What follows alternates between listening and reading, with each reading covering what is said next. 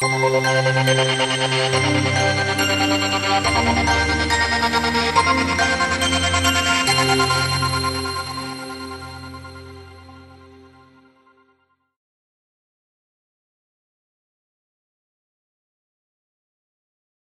like to play for you a piece that I wrote for a person I love. This is Variations on a Rose.